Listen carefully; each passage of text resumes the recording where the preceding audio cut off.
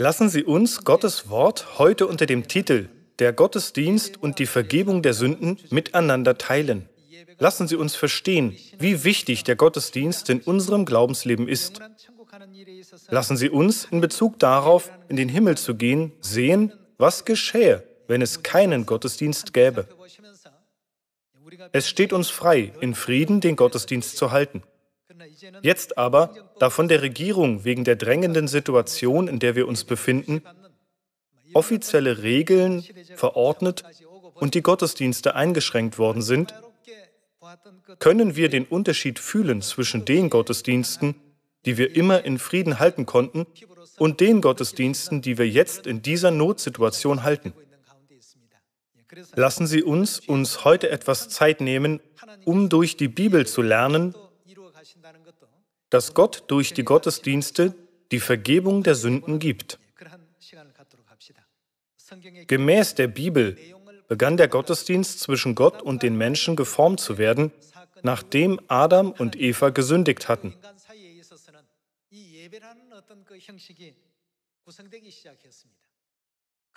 Die grundlegendsten Merkmale des Gottesdienstes sind die Buße und die Vergebung der Sünden. Wer nicht Buße getan hat, kann nicht Gottesdienst halten. Und wer keinen Gottesdienst hält, hat keinen Weg dazu, dass ihm die Sünden vergeben werden. Erscheinen nicht das Opfer von Kain und das Opfer von Abel auf diese Weise in der Bibel?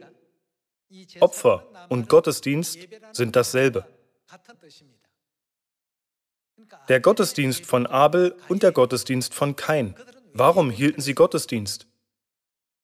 Da man nur zu dem Baum des Lebens gehen kann, wenn die eigenen Sünden vergeben sind, lehrte Gott Kain und Abel den Weg dazu, durch den Gottesdienst die Vergebung der Sünden zu empfangen. Und nach Kain und Abel brachten viele Menschen Opfer dar, indem sie das Blut von Tieren vergossen, wann immer sie Gott Gottesdienste darbrachten. Bis zu der Zeit von Mose vergingen auf diese Weise Tausende von Jahren. In der Zeit von Mose begann die Struktur des Gottesdienstes festgelegt zu werden. Bis dahin waren viele Dinge weggelassen worden, aber in der Zeit von Mose legte Gott auf dem Berg Sinai die Zeremonie der Gottesdienste fest, indem er sagte, von nun an betet mich diesen Ordnungen entsprechend an. Das ist das Gesetz des alten Bundes. Einfach ausgedrückt ließ Gott sie wissen, wie im alten Bund der Gottesdienst zu halten war. Der alte Bund diente schließlich als Schatten und Abbild, um den neuen Bund wiederzuspiegeln. In den Zeiten des Alten Testaments wurden alle Gottesdienste vollzogen, indem das Blut von Tieren vergossen wurde. In den Zeiten des Neuen Testaments aber wurde Jesus Christus zu dem Opferlamm des Passas, dem Sühneopfer, das Gesetz für den Gottesdienst des neuen Bundes entstand. Es gab im Alten Testament Gottesdienste und auch im Neuen Testament gibt es die Gottesdienste. Die Vergebung der Sünden kann ohne Gottesdienste auf keinen Fall gegeben werden. Ohne die Gottesdienste gibt es keine Brücke, die den Spalt zwischen Gott und der Menschheit überbrücken kann. So kostbar ist der Gottesdienst in unserem Glaubensleben. Manche Leute nehmen den Gottesdienst auf die leichte Schulter und denken einfach, ich muss den Gottesdienst lediglich zur richtigen Zeit halten. Ich brauche dafür keine großen Anstrengungen zu unternehmen. Aber der neue Bund hat seine Gesetze und Ordnungen. Und auch der alte Bund hat seine Ordnungen und Gesetze, oder? Der Weg, den Gottesdienst des alten Bundes zu halten, steht im Alten Testament geschrieben. Und der Weg, den Gottesdienst des neuen Bundes zu halten, steht im Neuen Testament geschrieben. Wenn man das bedenkt, so kann unser Glaubensleben ohne den Gottesdienst auf keinen Fall existieren. Wir brauchen die Gottesdienste. Der Garten Eden wurde als Abbild und Schatten gewählt, um zu zeigen, wie wir, die Menschheit, im Himmel gegen Gott sündigten durch das, was in Eden geschah, zeigt uns Gott, wie wir sündigten und auf die Erde vertrieben wurden.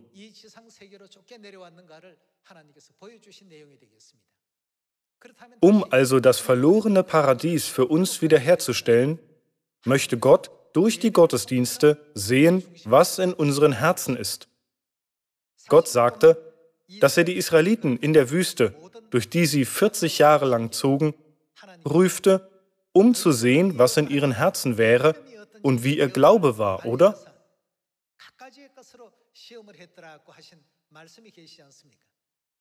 Gott will durch die Gottesdienste am Sabbat, die tägliche Gebetszeit am Morgen und die Gebetszeit am Nachmittag und die Gottesdienste zu den verschiedenen Jahresfesten unsere Einstellung ihm gegenüber sehen.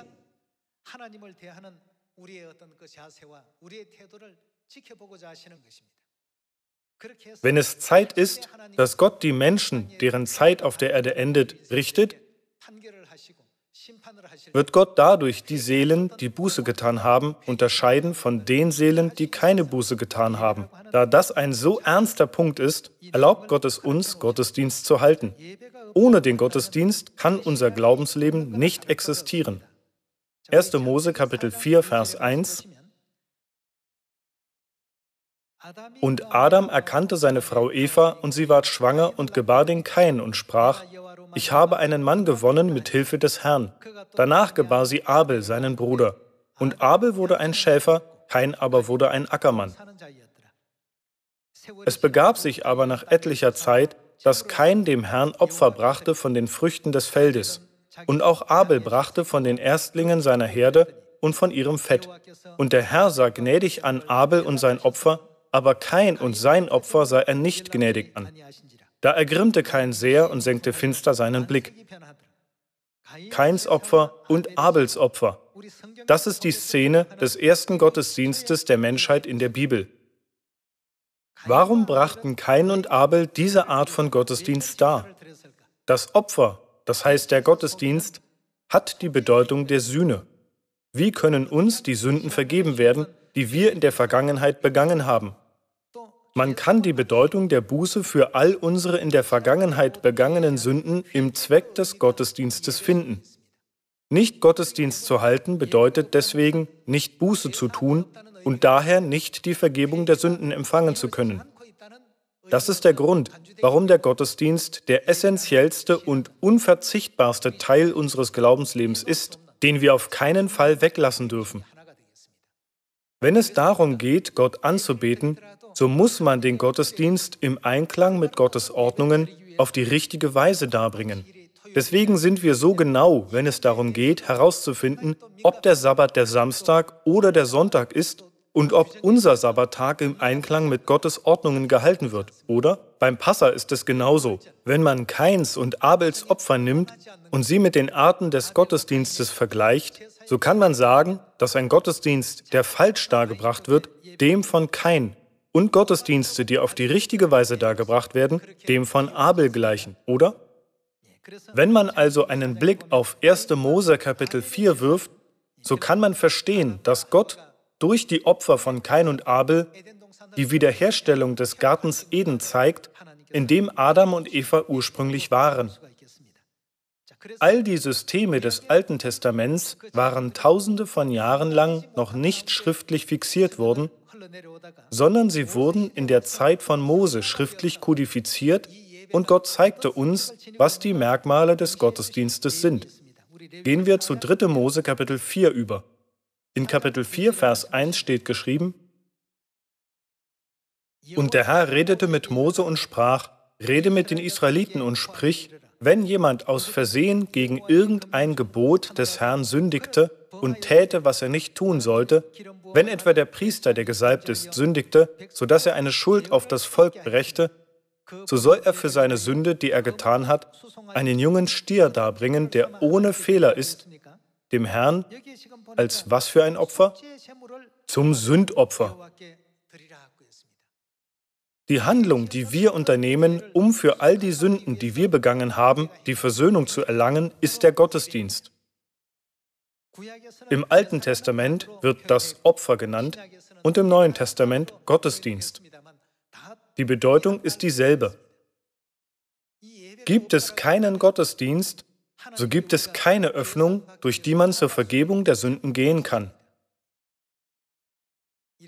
Deswegen ließ Gott Abels Opfer weitergegeben werden und in der Zeit Moses begann er, die grundlegenden Abläufe und Ordnungen der Opfer eines nach dem anderen zu organisieren. Das ist das, was zu den Gesetzen des alten Bundes wurde. In all den Opfern im Alten Testament ist die Buße eines Sünders enthalten und auch Gottes Versöhnung.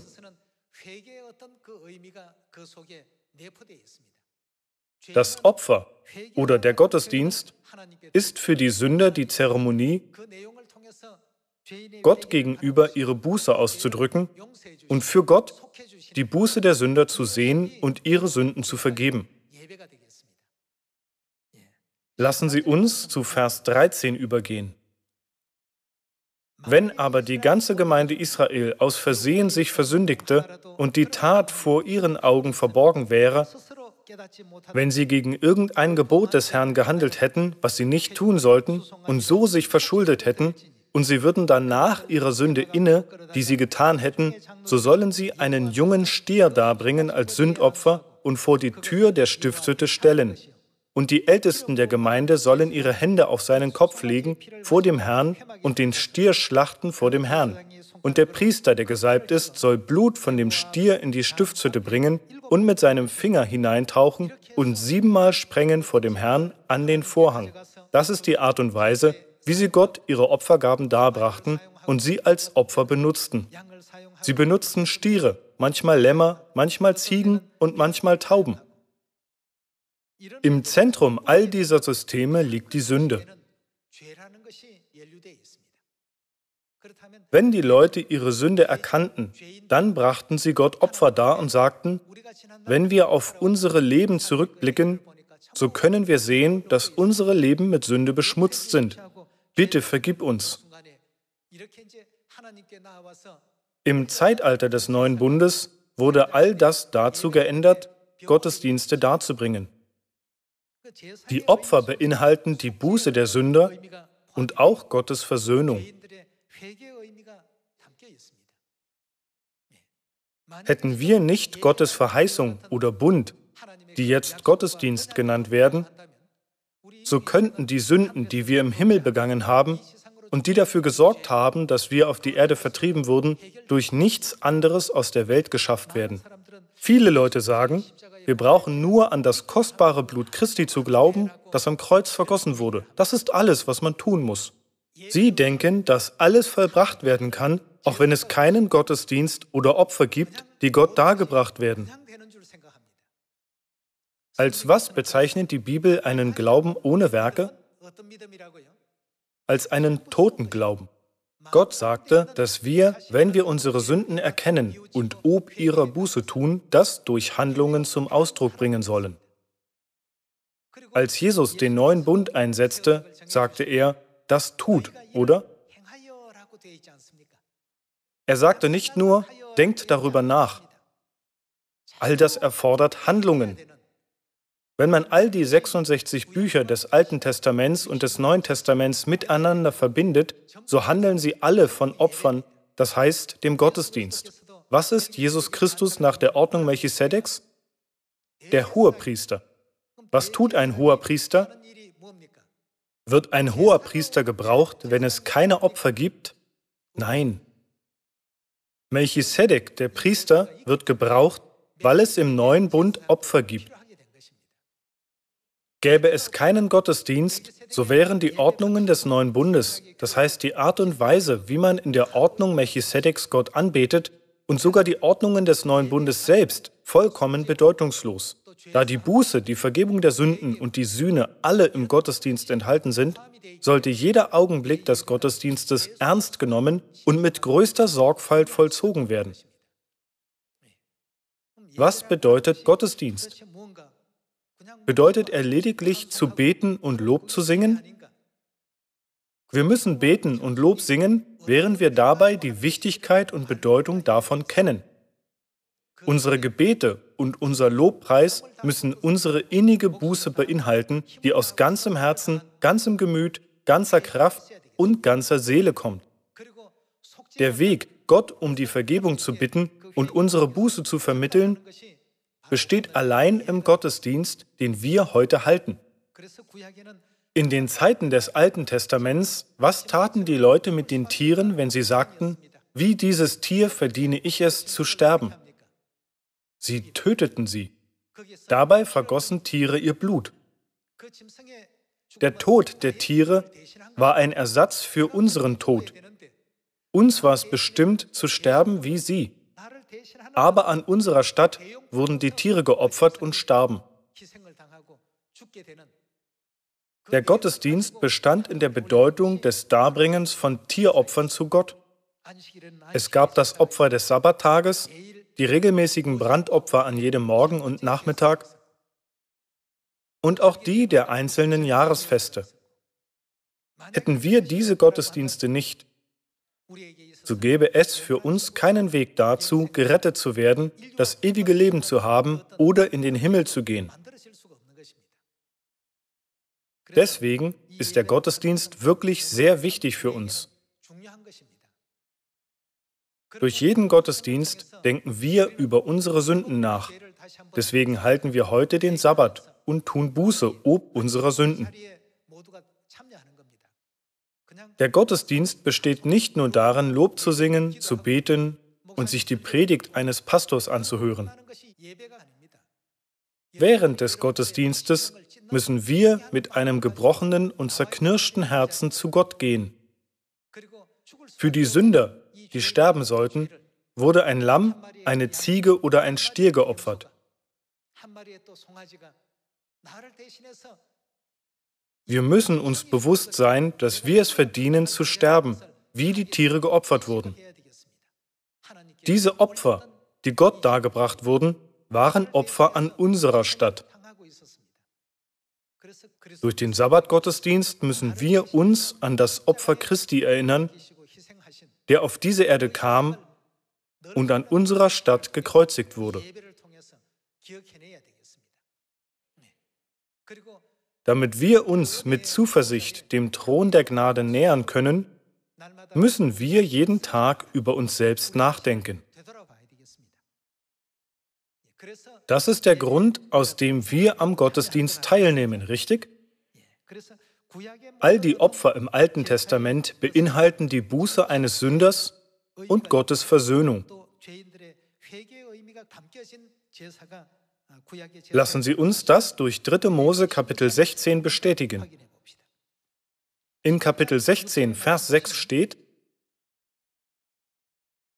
und Aaron soll einen Stier, sein Sündopfer, darbringen, dass er für sich und sein Haus Sühne schaffe, und danach zwei Böcke nehmen und vor den Herrn stellen an der Tür der Stiftshütte und soll das Los werfen über die zwei Böcke.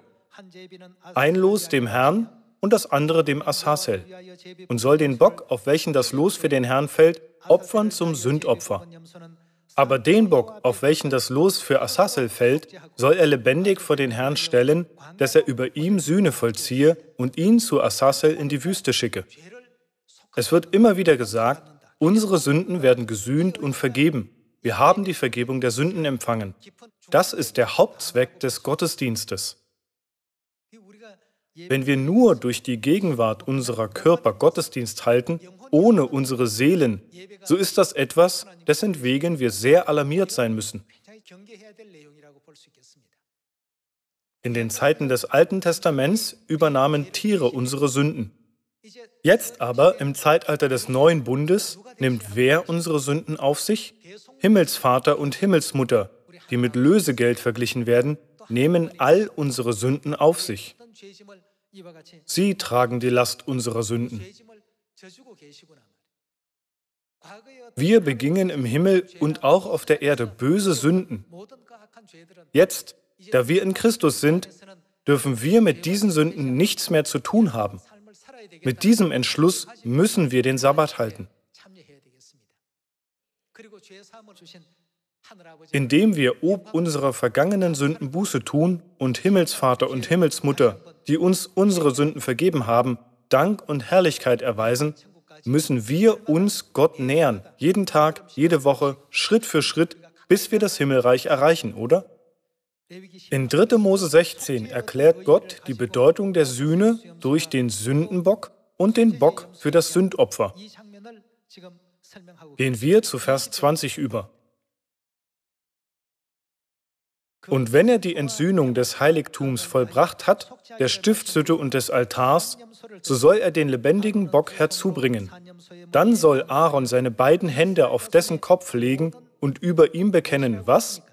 Alle Missetat der Israeliten und alle ihre Übertretungen, mit anderen Worten Sünden, mit denen sie sich versündigt haben, und soll sie dem Bock auf den Kopf legen und ihn durch einen Mann, der bereit steht, in die Wüste bringen lassen, dass also der Bock alle ihre Missetat auf sich nehme und in die Wildnis trage, und man lasse ihn in der Wüste. All diese Dinge zeigen, dass das zentrale Wort in Bezug auf den Gottesdienst im Alten Testament Sühne ist. Wie schwer müssen unsere Sünden im Himmel gewesen sein, dass den langen Zeitraum von 1500 Jahren über, von der Zeit Moses bis Jesus auf die Erde kam, endlos zahllose Lämmer und Ziegen geopfert wurden. Immer wenn ein Tier geopfert wird, ist es nicht einfach ein Tier, das geschlachtet wird. Es sind eigentlich wir, die geschlachtet werden. Diese Tiere standen an unserer Stelle wegen unserer Sünden.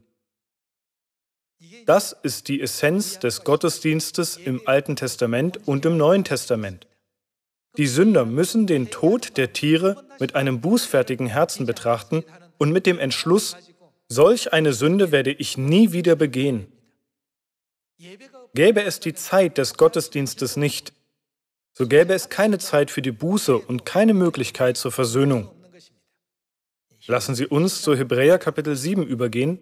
In Kapitel 7, Vers 11 steht, Wäre nun die Vollendung durch das levitische Priestertum gekommen, denn unter diesem hat das Volk das Gesetz empfangen, wozu war es dann noch nötig, einen anderen als Priester nach der Ordnung Melchisedeks einzusetzen, anstatt einen nach der Ordnung Aarons zu benennen? Denn wenn das Priestertum verändert wird, dann muss auch das Gesetz verändert werden. Das Priestertum änderte sich von der Ordnung Aarons in die Ordnung Melchisedeks. Und der alte Bund änderte sich in den neuen Bund. Wie hier gesagt wird, konnte die Menschheit durch das levitische Priestertum, das heißt das Priestertum zur Zeit von Mose, nicht die Vollkommenheit erlangen. Dieser Gottesdienst war nicht vollkommen, sondern vielmehr ein Abbild. Der Gottesdienst aber, der nach der Ordnung Melchisedeks dargebracht wird, ist vollkommen. Der wichtigste Teil des Gottesdienstes nach der Ordnung Melchisedeks ist die Tatsache, dass Gott all unsere Sünden auf sich nimmt, oder? Gott Vater und Gott Mutter vergeben unsere Sünden, gewähren uns das Recht, Gottes Kinder zu werden und stellen durch ihr heiliges, kostbares Blut unsere ewige himmlische Heimat wieder her, damit wir das ewige Leben und Segen haben können. Wird nicht durch den Gottesdienst Gottes große Liebe über uns ausgegossen? Das im Gedächtnis behalten, lassen Sie uns zu Hebräer Kapitel 7, Vers 21 übergehen. In Vers 21 steht, dieser aber durch den Eid dessen, der zu ihm spricht, der Herr hat geschworen und es wird ihn nicht gereuen. Du bist was in Ewigkeit? Du bist ein Priester in Ewigkeit. So ist Jesus Bürger eines viel besseren Bundes geworden.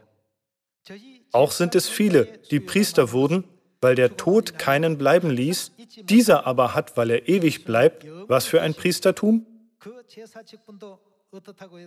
Er hat ein unvergängliches Priestertum. Jesus kam auf diese Erde und opferte sich selbst für die Menschheit durch das Priestertum des neuen Bundes. Was für ein Priestertum bietet dieser Gottesdienst? Es ist ein unvergängliches Priestertum. Sein Priestertum ist unveränderlich. Es ist unvergänglich. Wenn Jesus Christus ein Priestertum innehat, bedeutet das dann, dass es ein Gott darzubringendes Opfer gibt oder dass es kein Opfer gibt, das Gott dargebracht werden muss. Nur wenn es ein Opfer gibt, ist ein Priestertum erforderlich und deswegen ein Priester, richtig? Fahren wir mit Vers 25 fort. Daher kann er auch für immer selig machen, die durch ihn zu Gott kommen, Wodurch kann er sie retten? Durch das unvergängliche Priestertum, das er innehat. Jesus rettet diejenigen, die zu Gott kommen, vollkommen. Denn er lebt für immer und bittet für sie. Das ist das, was die Bibel lehrt. Was für ein Priestertum hat Jesus dann inne? Schauen wir uns Hebräer Kapitel 5, Vers 8 an. So hat er, obwohl er Gottes Sohn war, doch an dem, was er litt, Gehorsam gelernt. Und als er vollendet war, ist er für alle, die ihm gehorsam sind, der Urheber des ewigen Heils geworden, genannt von Gott was? Ein hoher Priester nach der Ordnung Melchisedeks.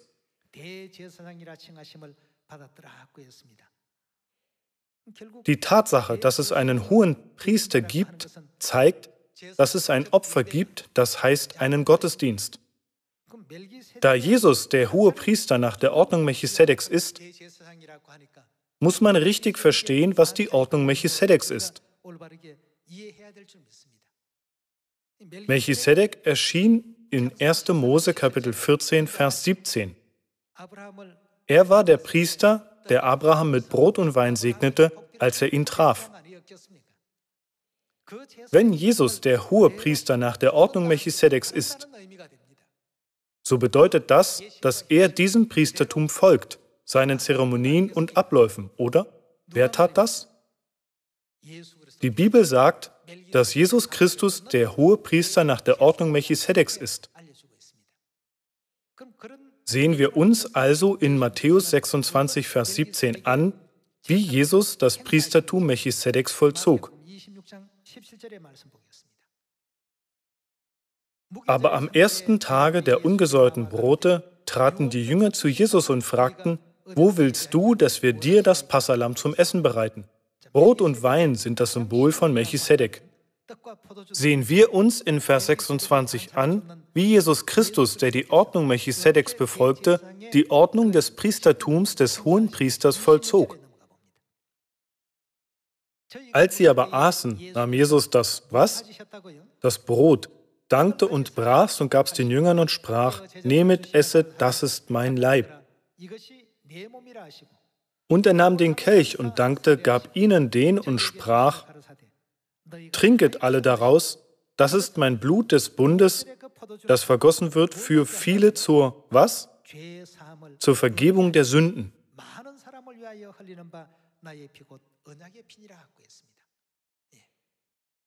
Wie Melchisedek Abraham mit Brot und Wein segnete, was tat Christus als der hohe Priester mit dem Priestertum Melchisedeks in den Zeiten des neuen Bundes?